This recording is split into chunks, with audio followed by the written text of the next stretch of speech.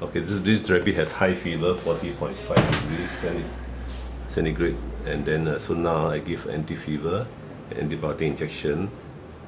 And uh, he has sneezing seven days ago. So maybe there's an infection. Now this rabbit is very thin uh, and very nervous, but inside this bag is okay. You can see, rabbit is very calm. Uh. But outside the bag, the rabbit is not. Uh, it's very active and not not not easy to hold. Uh. Now you see, very easy to hold.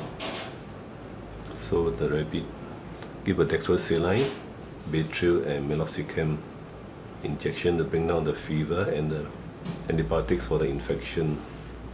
So we'll wait till tomorrow, see whether there is any more fever or not. Then uh, we will give the Fibreplex 你吗？它的里面牙齿呢？